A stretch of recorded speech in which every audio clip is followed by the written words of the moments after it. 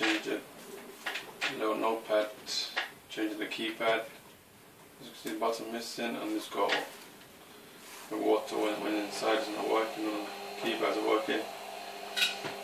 The laptop today working as ASUS EEPC.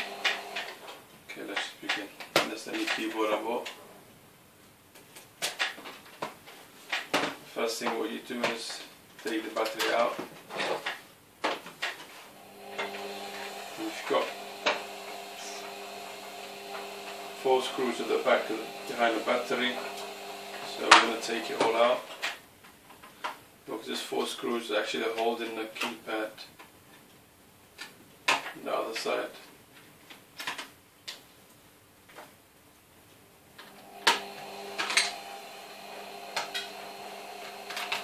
Okay.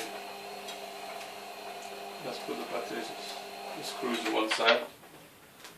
Now let's turn it over. On this thing, it's actually got clips. So what you do is, like use this tool just to, it's got little,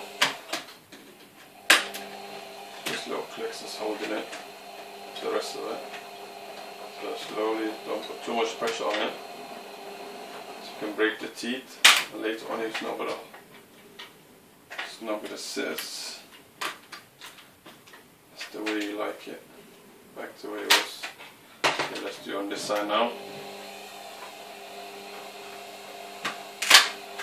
Just slowly, not too much pressure. So you can see once you lift one bit up, and the rest will just come back, will just come out. So.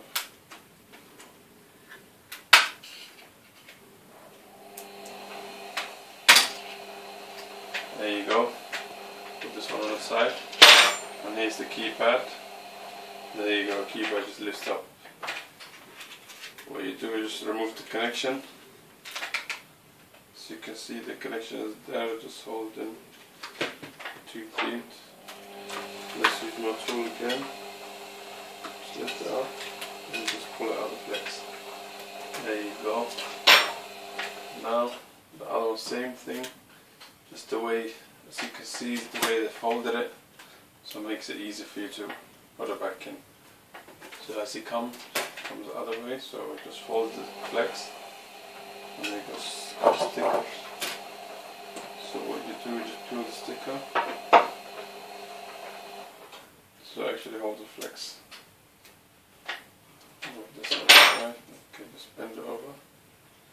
Put the flex, see the sticker. It actually sticks on the keypad.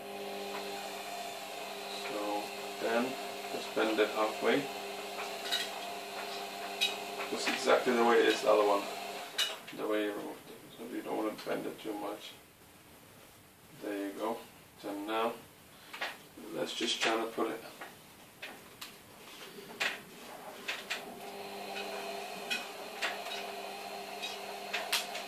put it inside.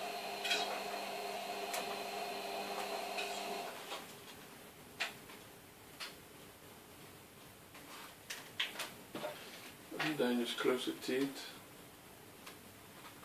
to hold the flex back down.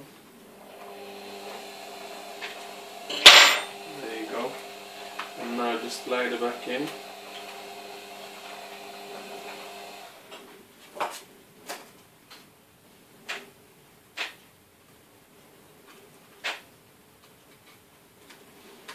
There you go. Then just use the same thing. And this will actually hold it down the clips again.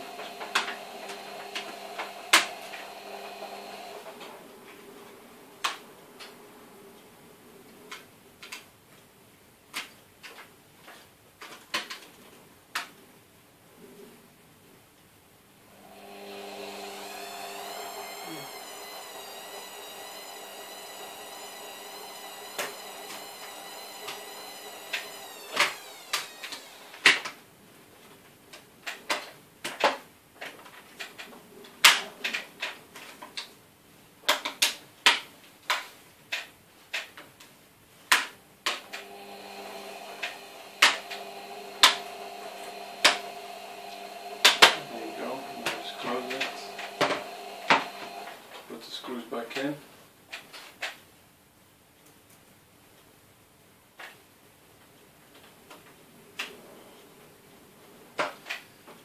Should have three screws. This one screw's already.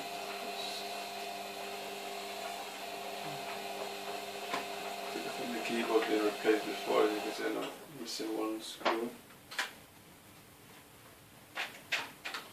There you go. Slide the battery back in.